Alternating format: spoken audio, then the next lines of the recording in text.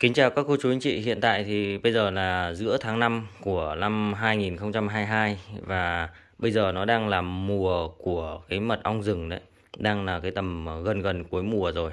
Thì mỗi một ngày như thế này thì người dân người ta sẽ mang về cho mình uh, mỗi những cái tổ như thế này. Nghĩa là người ta cứ bắt được mỗi một tổ thì người ta sẽ bỏ trong cái tu bóng như thế này. Sau đó thì người ta mang về, người ta gom lại, gom lại sau đó mang về thì nó sẽ có mật ong khoái và mật ong đá đó là hai cái mật chính ở vùng điện biên trong mình. Ở chỗ khác thì hầu hết nó cũng sẽ có những cái ong như thế này thôi. Và ngoài ra thì còn có ong ruồi nữa. Nhưng ở đây thì mình đang nói đến ong đá và ong khoái. Ong đá thì cái tính chất nó như này. Là cái ong mà nó làm tổ ở trong hang đá, gốc cây, trong cái hốc cây đó và trong hốc đất. Ờ, chủ yếu là làm tổ ở ba cái đấy. Và cái tính chất của cái con này là cái con ong thì nó nhỏ nhỏ à, to, nó nó đây. Cái cụ thể, con ong cụ thể nó như này. Người ta hay gọi là con ong mật đó. Ong mật hay về làm tổ. Thì ờ, cái loại ong như thế này thì cái con ong nó nhỏ, nó nó làm tổ thì nó đi hút được ít mật. Nhưng mà cái tính chất mật của nó nó khá là đặc. Đặc thì tất nhiên nó sẽ không đặc bằng mật ong nuôi rồi. Mật ong nuôi là rất là đặc đặc gấp đôi cái loại mật ong này. Đây đây là một cái chai mật ong đá là mình đã phát sẵn. Còn đây là chai mật ong khoái thì mọi người sẽ thấy là cái ong khoái ấy, là cái màu của nó sẽ vàng hơn màu của nó đẹp hơn và màu đậm hơn thì nó sẽ là ong đá. Và cái ong đá này thì tính chất của nó là nó đặc hơn. Này con ong đá này thì nó nhỏ và đến đi nó hút được ít mật và nó sẽ đặc hơn. Con ong khoái thì tính chất là cái con ong nó to nó to gần gấp đôi đến gấp ba cái con ong đá đó. Thì cái nó hút được nhiều mật và cái tính chất mật nó sẽ loãng hơn cái con ong quái này thì là cái con ong mà nó làm tổ ở trên những cái cành cây cao. Tổ nó rất là to và con ong hút được rất là nhiều mật, cái ống mật nó to. Đó.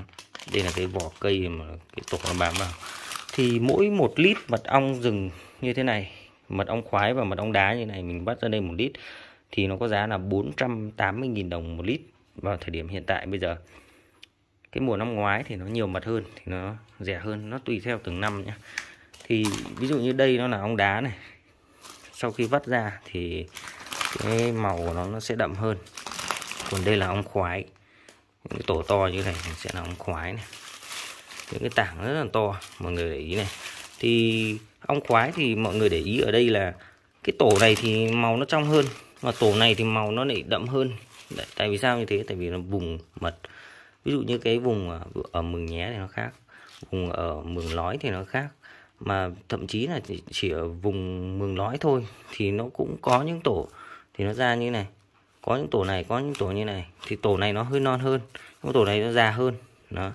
Hoặc là cái vùng hoa vùng hoa thì cái mật ở cái vùng này thì nó lại là một cái loại cây hoa khác, và vùng này nó là một cây hoa khác. Thành ra là các cái tổ này nó không có một cái mật nào nó giống hệt nhau, đó tổ này rất là đẹp màu mật nó rất là đậm. Ừ. Thì nó do tùy từng vùng mật và từng từng loại hoa ở cái khu vực đó. Thì cái mật đó đây. Cái này thì uh, như mật ong khoái này thì mình vắt thì cứ để là nó tự chạy thôi. Để tự chạy sau đó thì mình chọc à, ờ, hoặc là chúng ta có thể vắt. Ừ, còn cái loại này thì ờ, bắt buộc phải vắt thủ công bằng tay đeo găng tay và sau đó thì chúng ta vắt. Đây chứ còn cái loại ong đá này thì nó khó ra hơn, tại vì nó đặc hơn mà. Nó rất là khó ra hơn. Đó. thì ờ, mật ong rừng mình bán là 480.000 đồng một lít. Mật ong khoái và mật ong đá thì đều như nhau. Cho nên là cô chú anh chị có nhu cầu về mật ong rừng thì là có thể liên hệ mình theo số điện thoại trên màn hình 0974 010585 hoặc là 0947 010585 mình bán mật ong đó thì ờ, tất nhiên mình có có bán cả mật ong nuôi thế nhưng mà mình nói mật ong nào gửi cho cô chú anh, mật, anh chị mật ong nào á, là chuẩn mật ong đấy. Còn cái mật cái chuyện mua mật ong mật ong rừng này này thì nó là cái câu chuyện của lòng tin. Nhiều cô chú anh chị là sẽ không tin. Tốt nhất là uh, khi mà cô chú anh chị uh, khi mà mua mật ong á, thì chúng ta thử là thử bằng cái mùi thơm và cái độ ngọt của mật ong.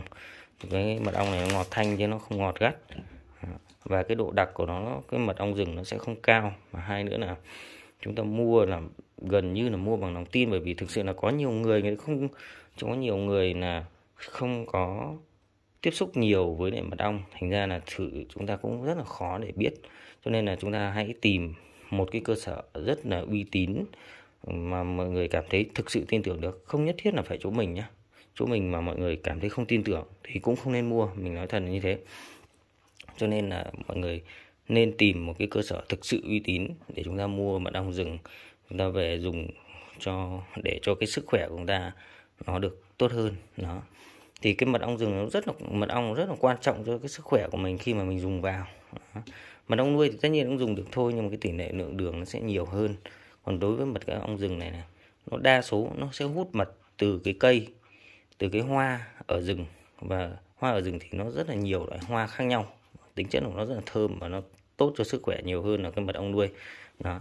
Thì cô chú, anh chị có nhu cầu về mật ong rừng mà cảm thấy thực sự tin tưởng thì có thể liên hệ với mình theo số điện thoại trên màn hình nhé. Mình à, vẫn hiện tại mùa này vẫn đang phải lấy mật để ủ bán quanh năm.